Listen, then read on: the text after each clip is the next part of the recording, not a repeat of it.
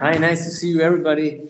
Uh, thank you very much uh, uh, for this invitation. I give us great pleasure to be able to talk about uh, this event, even in if online.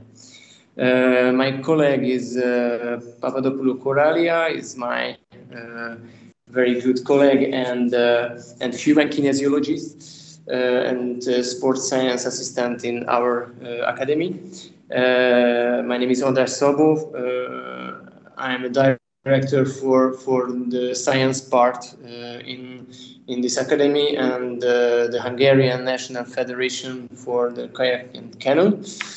Uh, our topic is simple yet uh, much more complicated uh, the past, present, and future success of uh, the Hungarian kayaking sport uh, and the most successful sport of Hungarian elite uh, sports.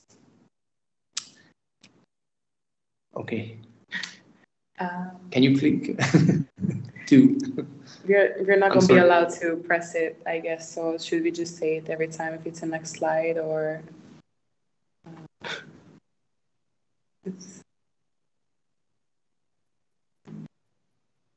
Okay, one more, please. Thank you.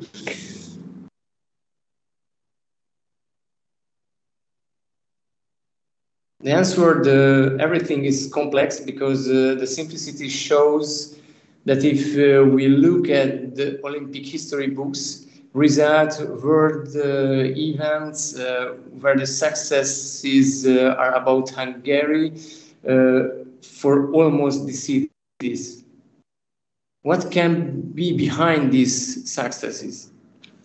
I think our PPT has come back.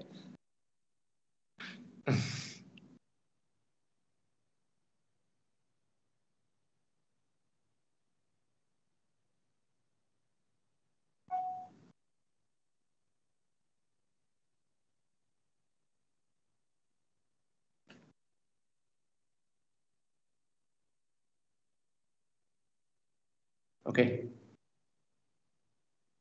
Okay. We see now the historical pictures and and and uh, our name asked for our academy.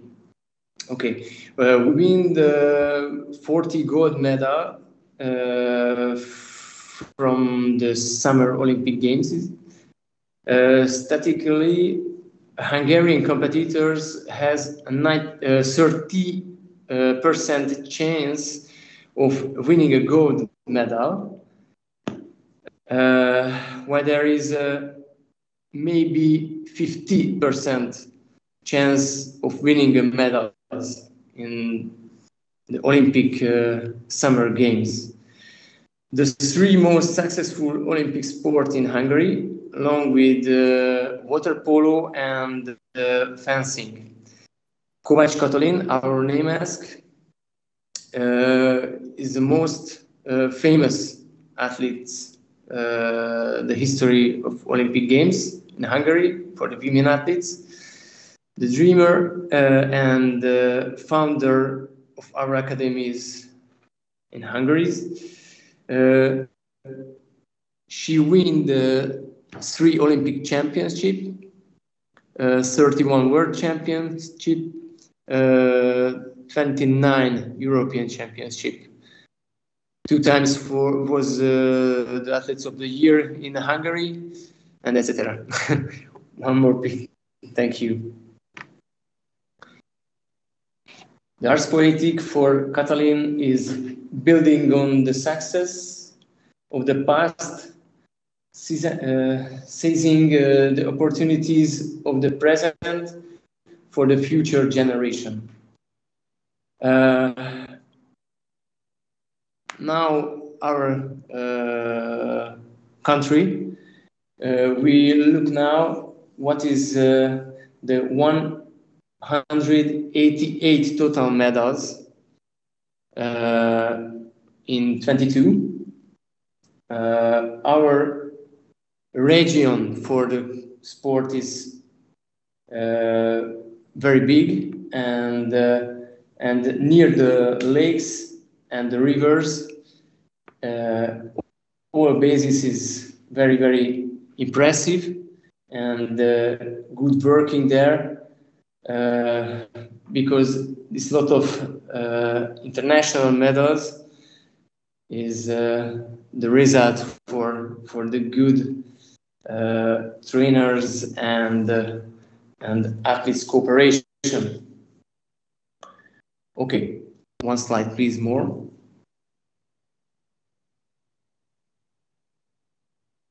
Okay. Uh, in 22, uh, there were 4,249 competitors in Hungarian kayaking, explaining masters and dragon boat disciplines, uh, following distribution. Our facility in the National Kayak uh, Academy uh, fitted uh, 21 near the lake uh, Velence. This is a center central of uh, our country. In 23, uh, number of uh, members around 180, number of racing licenses 124 in January, pre-academy age groups uh, around 100 peop, uh, 120 peoples. Academy age group around 60 people. Number of sport coaches was uh, 14, and every year we develop a little bit, and uh, now 16. Sports science and fitness team uh, without the medical teams is uh, six person and uh, our medical staff is more four or five uh, doctors and and the other parts. You can maybe move forward for us if you could.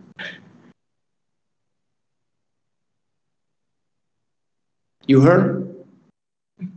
Okay, thank you. And more, more, please. More, more, more too. Thank you. Okay, this is our statistic for the national uh, results. Okay. Um, it was the youth, adult, and the young, and under 23 ages for uh, our teams. You could press. we win. We win four European games winning uh, gold medal and and 28 uh, medals for a lot of uh, European Championship and uh, World Championship and Marathon Championship, World Championship, European Championship, and Olympic Hope Regatta. Our facility is the most impressive in Hungary. Our government and the federation and uh, uh,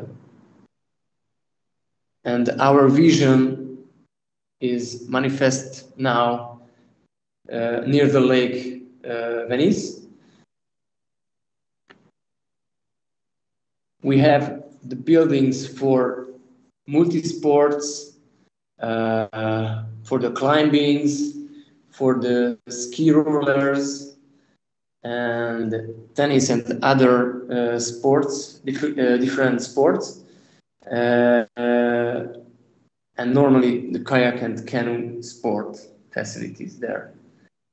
We have the apartment, lot of apartments, and one altitude center also and we work here with five uh, different uh, sports science laboratories.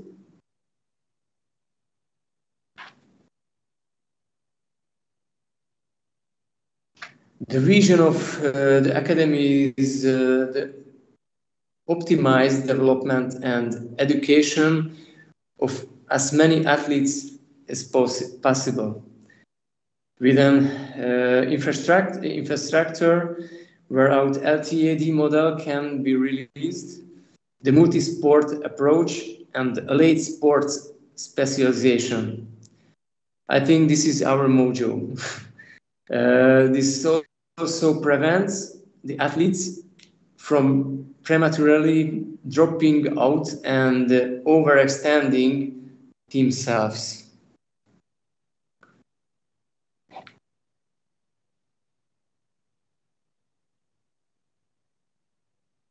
The academies have to, to entire kayak canoe community and for the federation and a lot of athletes all around the world.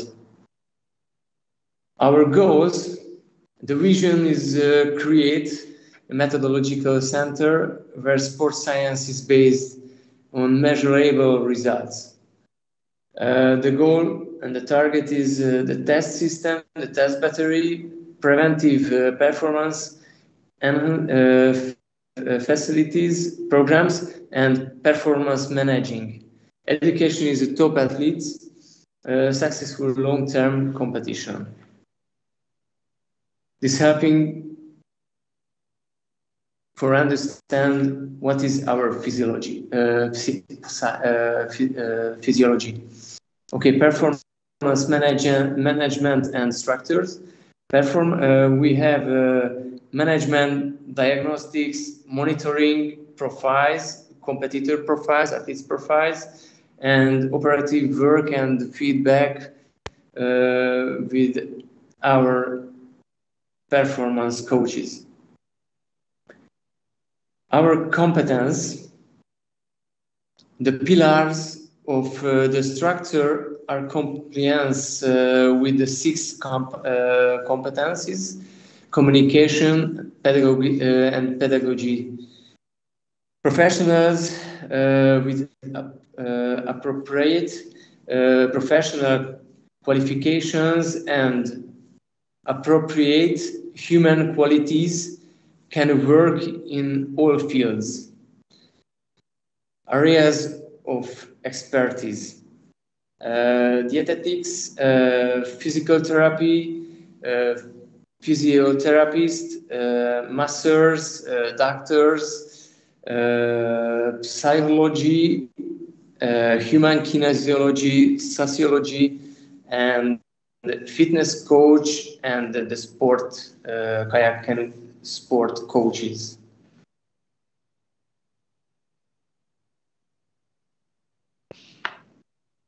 My task is uh, to coordinate the specialist, uh, the specialist uh, of the various fields to help uh, the existing communication between uh, them and to shape uh, the everyday work for the sake of the future image.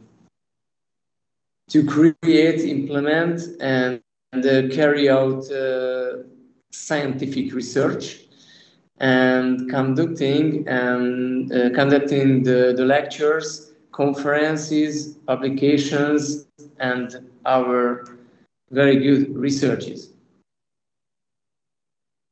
Pillars of uh, sports science and uh, data performance data, data recording, uh, recording, processing, and data storage, data handling, and conclusions with my colleagues. And uh, and uh, make good communication channels uh, for uh, for the others coach. Okay.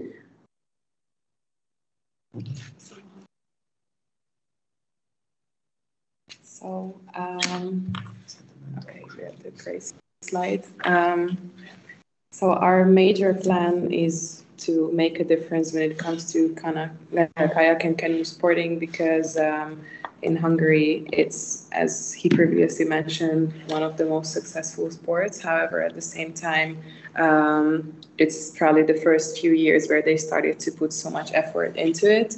So now finally we are able to provide these athletes a scientific background and uh, we can invest into researching and supporting them not only through trainings but with test batteries and protocols.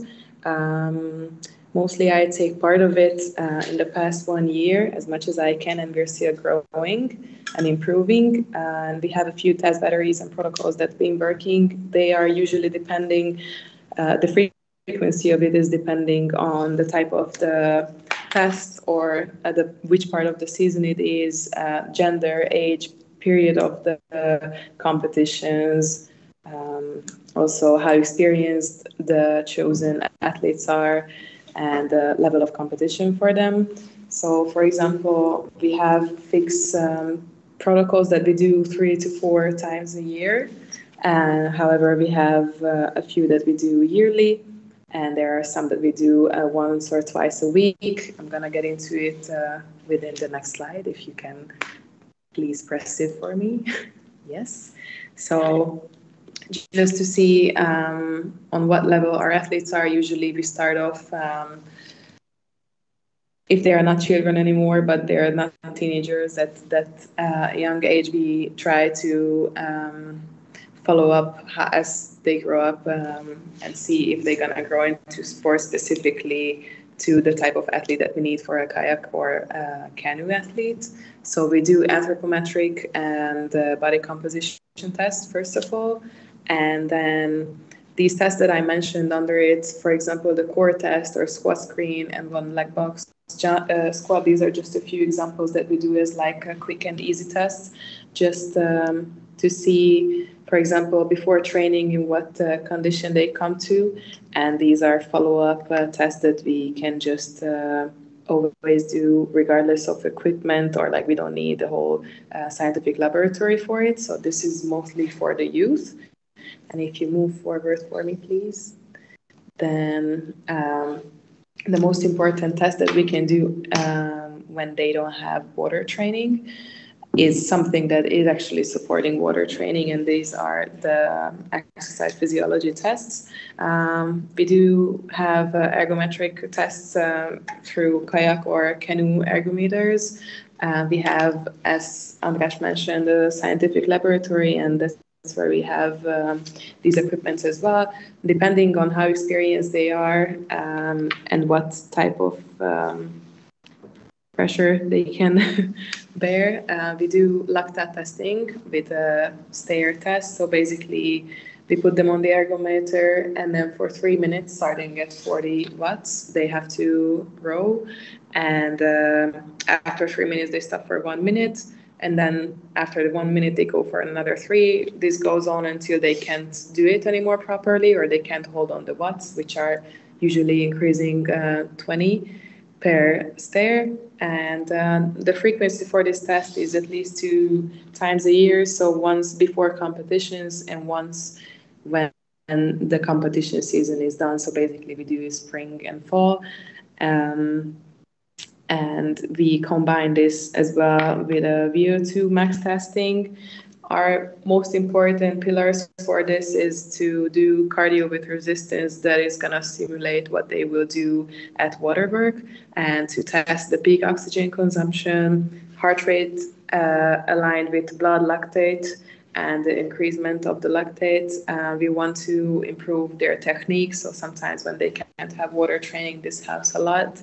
Uh, and also, uh, its goal is to determine the anaerobe and aerobe zones for uh, um, the the athletes, and not only them, but it's a perfect feedback for the coaches because we can give them more specific and personalized um, training suggestions, or for example, how long the deduction time should be after a race or even after like a hard training. We can determine pulse zones and um, the lactate tolerance individually. For example, if it's not one person rowing at a race, but we have the K2 or uh, K4 where it's more people sitting in one boat, uh, it's very important for them to know that everybody's tolerance is different. So that's also a very um, important part of how we choose uh, our athletes and who should sit where and which athlete is with uh, which athlete um, perfectly matching. So we can also like sort out the differences. And um, if you can press one more, I think I, yes. Um, these are the reports that we get from the uh, the ergometric tests. Uh, it's in German, so it's just basically a picture just so you would see it that once uh, we manually write down everything that's going on during the test, we put it into our software, and then it's uh, creating this whole report. And uh, basically, on the report, we're just gonna see what I previously mentioned, the lactate uh, edges, and uh, we can see specifically all the three minutes and how the heart rate was changing along with the lactate acid. And uh, the next slide, I think, is also connected to it, where we can see how the uh, aerobe and anaerobe zones are uh, identified. And then basically, we send out a form like this to the coaches for feedback, and through this they can get a suggest suggestion. It's depending on them if they follow it, but um, what we would uh, suggest for them is like uh, between what pulse zones they should train their um, athletes and watch how the lactate um, curve goes up, which is on the next slide, because this is the lactate curve that we get from the ergometric uh, trainings. And if we go back years and years, then we can always uh, just um, compare these curves because every athlete has uh, the data uh, pre-saved. Everything is globally in one software collected, so we can just even see that during the years, or even if uh, it's at, after off season or before competition, if it's changing how we want it to. So that's about the ergometric uh, testing. And if we go further down, thank you so much. then another huge important part of the academy is that we not only work with the athletes who specifically work as an athlete and do it as a professional level. However, we are now finally be able to say that we are part of the sports school system, and um, we're gonna talk about that very soon. András will tell you a few information, but then just the tests individually. Um, these are very simple, and of course, because it's we're talking about kids who are just starting to figure out if they want to do kayaking and canoeing. We our most important goal is to make them like the sport and just be loyal to it. So I think that's one of the hardest uh, parts. But um, now that uh, we have um, specialized coaches who take part with the PE teachers, uh, it's uh, it's a very successful cooperation. So we do two, three times a year these tests. We do it fall and spring, and then uh, in between for the kids who are chosen, we do separate tests. And the classes start from first grade, so that's here the age between six and seven.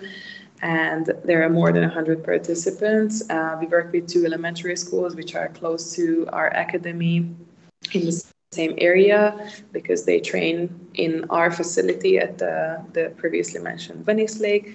So there are only five tests. Basically, we do sprints uh, with 5, 10, 15 um, meters, and then there are photocells who are, um, which are giving us information of how fast these meters were reached. We do an easy long jump for them from standing. They have to keep up the plank. We do push ups. Uh, and for example, with the plank and the push-ups, it's not about uh, quality, uh, quantity, but it's uh, only about quality. And we do all these to check their agility and relative strength, uh, just see how fine movements are for them, the coordination, and in general, if they are physically even able to um, have a future on the long run, if not in kayak, then in general and in sports. So it's more like a talent and the skill um, recruiting test. And um, I don't know if you want to. Yes, yes, yes. Uh, sports school uh, model is uh, very new in Hungary. Uh, we created two years ago this uh, project. We started with this project uh, two years ago. A cooperation where daily uh, training and uh, the sport of kayak and uh, canoeing appear in the institutions. we have developed a special test system. Uh, this is represented uh, by Cora. Uh, we develop children from the age of six in the framework of water activities once a week. Uh, for the uh, for the test system, the significantly different fitness level of uh, the children attending the sport class uh, without uh, the normal classes is uh, become vis visible visible excellent result and progress uh, which we can easily uh, communication to parents and uh, with the school and the teachers also. Um, so, and just as an extra information, yeah, that's basically just so you would see it. This is, for example, where I collect all the data once I do the measurements, and then this is just for example, the previous two measurements, but as we go further in time, it's just going to be a, a lot of diagrams, and uh, this is just our statistics. But for the parents also and the coaches, it's just very important that they see from um, six months to another six months period uh, if there was any development, because of course, um, for us to have a huge background of uh, young people who will do great in kayak. We have to do this and do the selection through it. So that's basically just the data for it. And um, I don't know if there was something on the slide before. If you, okay, never mind. This is fine too. I think I already said that just so you see that, yeah, it's a talent selection. So you can go. Yeah, thank you. Um, the other thing at the academy for athletes who are already part of our academy and they even uh, go to competitions. Um, we have a readiness test for them. It's uh, once a week. We do it at the same time every Monday. Uh, before a gym session, after a rest day, just so we would see at what state they are in a relaxing state with the day off and no load the goal is to measure the load potential and uh, to supervise standby state. Um, we do an easy counter movement jump, and we are mixing it with clamping force uh. We are looking for asymmetries and uh, checking what's the dominant hand, and we are aligning this with uh, wellness questionnaires as. Um, they are sent out every week to the athletes uh, themselves. It's just a very easy questionnaire which is giving us um, subjective opinion of how they are feeling because uh, if we truly believe that if physically somebody is not okay, the background could be the mental lack of uh, health. So we're really paying attention, especially that these kids are mostly in school, so that they have another uh, extra pressure on their shoulder.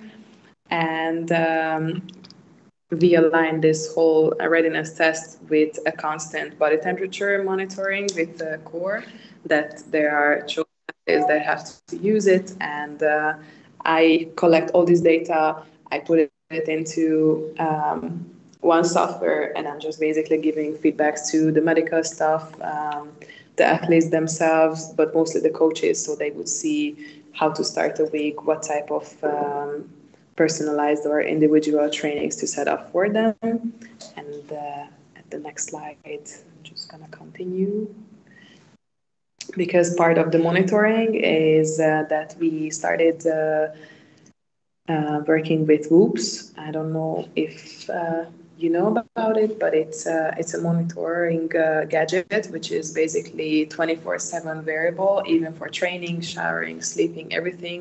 And through that, we can have an insight into their sleep performance, their strain recovery, and all over general health. Um, we pre-selected athletes and uh, groups that were eligible for this, and they are uh, meeting the criteria because um, the weekly reports and the monthly reports are extremely important, especially during competitions. Um, but how you should imagine it is that um, through that we can see how they eat, how much they move, how their recoveries after one certain training or during competition, how much they are stressing. So all this 24-hour um, monitoring is just helping us to make sure that there is enough uh, workouts, or maybe if uh, there is any fatigue or they are overtrained. So I think on the next slide I wrote some yes uh, details about it. So uh, the measurement itself is based on HRV and GPS data, and uh, we can just uh, align this as well with the wellness questionnaires. Also, we pay attention to the, the women's cycle and how to um, make sure that uh, proper workouts are fitting their uh, cycle and we can just uh, determine the appropriate workout load. And on top of that we have touring profiles. Only one team can see itself so there's no competition. So it's uh, nobody can see the other person and it's basically me seeing everybody so i just collect this data too and as time goes on hopefully we're going to have a huge database looking back. And uh, through this it's very important and we can usually if somebody is overtrained or is about to get sick. So we can just um, warn the coach to give them a day off or let them rest or have a lighter workout and it's been working so far. So i think that's a huge help that we are able to use these gadgets. And the next thing when it comes to the scientific background, we do blood tests. This is mostly with the national team, and um, we check, of course, during training, before, after. I think everybody's familiar with this part in sports that we check the lactate and um, when it's uh, the competition time, we aligned this as well with uh, what we saw at the ergometric uh, lactate uh, curve and how long the deduction should be. So that's what is most important for. But the other new thing that we did in the past uh, one year, twice a week, is that we started measuring creatine kinase uh, in the in the blood. It's uh, two times a week because once we do it on a Tuesday, and then it has to be 96 hours after when we do the second, so we would see the peak um, number of the creatine kinase. With this, we were able to control fatigue and uh, check if they are um, overloaded or maybe if they should rest. Now that we have the Whoop, it's uh, amazing to see how they are aligning together.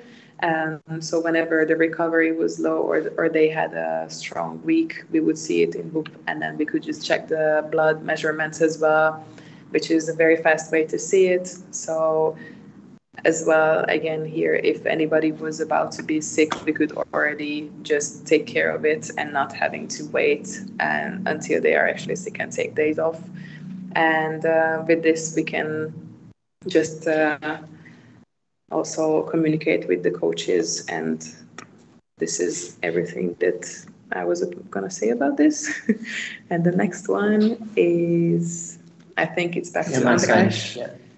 The biggest difference uh, comes from indoor uh, physical training. Here we do not uh, develop endurance, uh, only the movement patterns and strength uh, are what are being developed. Everything else can be done on the water, running or cycling. And we do everything uh, for the sake of the transfer back we develop uh, with the most uh, modern tools, gadgets, and methods possible. with the help of nutritionists, physical therapists, human kinesiologist, master, etc. It's very important. It is uh, very important also uh, that the older, over uh, 17 competitors already live their uh, everyday lives under a serious monitoring system. Uh, this also helps uh, them uh, to become professional athletes and uh, the same time successful. Okay, uh, our structure,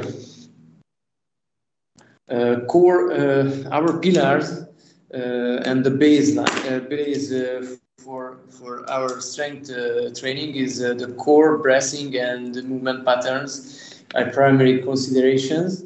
Hyper, uh, after this part, uh, hypertrophy, uh, strength, explosive power uh, is the next level.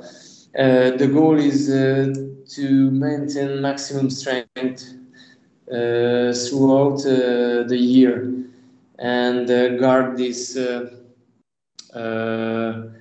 this maximal strength is very, very important. Uh, support uh, for the water work with the best possible transfer effects.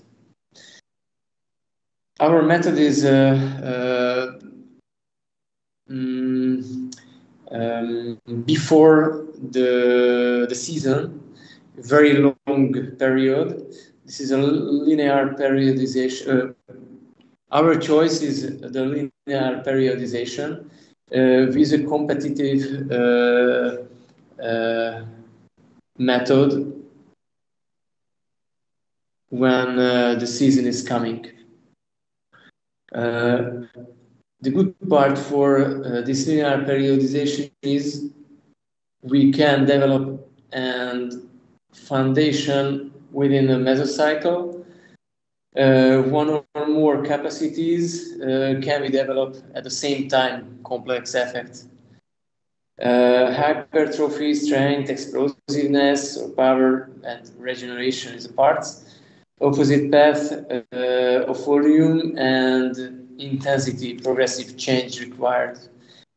And tri-period, anatomical adaptation, uh, strength development, maximal strength development, and explosiveness, or powers and peak powers. If a method is uh, applied at the wrong time, it is uh, at uh, the expense of adaptation. Uh, the concurrent or competitive model during the competition, uh, there is uh, no time just for complex development. during the championship, instead uh, of hypertrophy, uh, the goal is uh, to develop and maintain maximum strength and explosiveness or powers. Principles, we never work until we drop, uh, keep fuel in the tank, and the training should be repeatable. The significant part of training must be made, uh, made uh, measurable this very big help uh, Koralia and uh, the other colleagues in the academy and the federation. We know when the competitors arrive and in what state of readiness, uh, what are the external and uh, circumstance and environmental influences. Uh, Velocity-based system we use a lot of methodology and uh, gadgets, uh, velocity-based training, uh, the full the ROMs. we measure before the training, after the training, and every weeks or or two times per week. Also, power peak. Uh, use of uh, innovative uh, innovative tools uh, for example, uh, in uh, inertial machines, technologies supporting for the regeneration is also very, very important part of our job. Okay. Uh, because of the shortness of time, that's all we present about today. We hope you enjoyed uh, our presentation and was informative for you. Uh, feel free to contact uh, me by email with any questions. And thank you so much one more time uh, for your hosts and invitation for this sport platform. Thank you very much, uh, Koralia and András. We, enjoyed your presentation a lot. Uh, there are questions from the audience, and the first one is, uh, while you are testing so much, are those tests free for the athletes that are enrolled in your system, or do athletes pay for them?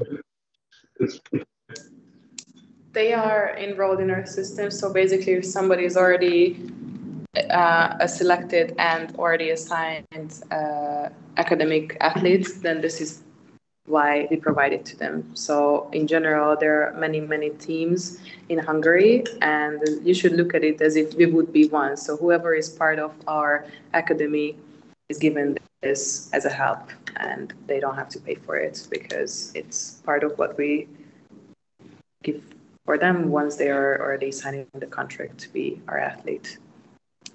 All right. Uh, do you have a common database for the whole country? Um, we do, but it's um, due to what I said at the beginning that this sport is basically just about to open its wings um, in this part. There was not really any uh, effort as from research um, behind it so far. So it is, but at the same time, it's not a database that we could use properly yet. So we're still trying to figure out what would be the right way to collect all that and uh, turn into it uh, turn it into something that uh, would be useful for us because right now it's just a lot of data, but uh, it's a lot of um, gaps in it and missing information. So this is one of our new projects as well to put it all together and have a proper database that for the future would be a very good referral because we don't have any referrals from the past. all right. All right. Then the next question. Yes, Jere here. Uh, thank you for the presentation. Uh, well, you mentioned that you have uh, numerous kind of uh, recovery methods that you use. Uh, what are those methods that you have chosen to use? Um, we have, um, I'm, I'm, not sure if that's the right word, but like ice chambers or like the cabins where you go inside. Um, obviously, under minus degrees, we have Normatecs. We do um, special bath therapies. We have um, um, physiotherapists. We do laser therapy, magnet therapy, um, wavelength therapies. We have ultrasound therapies. So basically, um, I think in the first round it's this. Yeah, we use we, we use lots of uh, gadgets and uh, and a um, lot of uh, specialists for for this part uh, because uh, when the competition is arrive, uh, these guys, these athletes, uh, make uh, high high peak performance two times per day, and the the regeneration is the most important, I think.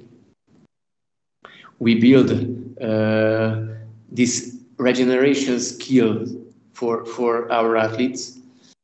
Uh, when uh, we make this long, long period for the preparation. Uh, and we use the nutrition, nutritionist uh, uh, cancer, uh, cancers and uh, the hydration and and we measure the the not the, only the lactates, uh, the blood sugar, uh, glucose, and and a lot of part also. Yeah, so we combine the physiological uh, numbers along with the the level of fatigue, and then we choose what type of uh, recovery um, session we will have for them. But what I said at the beginning, for now, these are what we have. It's a solid seven options, but of course, that's also very depending on the individual and what the coach wants and we want them to have more options than just a regular ice bath. yeah. So, yeah. Yeah. Yeah. Well, we have a continuing question on on cold therapy. So, do you use cold water immersion or cryotherapy? Sorry, you were asking if we use the water or we do cryotherapy? Yes, if you use uh, cold water immersion or cryotherapy cryotherapy also, yeah. Yeah. All right. We have a portable cry- uh, cryo and uh, the cryo sauna also. Oh, all right. Yeah. Uh, The bath, we only basically use it once they come off after a race and they go straight into the bath. And then within three hours, they have a second race. So for that, we did use the bath. But in like general recovery, we use the cabins because it's our pros athletes uh, use uh, also the hyperbaric, uh, chambers also. All right. Yeah. Interesting. Well, there's another question from the audience. Can you give some examples how you can boost transfer effect of strength training to water performance? Hogy tudunk a szárazföldi edzést se felhúzni a vízi edzésnek. Legrészét. Hogy milyen- Úgyhogy nem adunk nekik olyan, olyan mechanikai stresszt.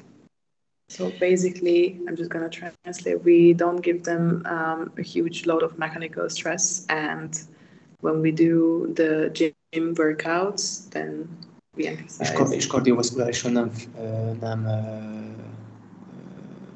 semmisítjük meg az atlétákat. So we.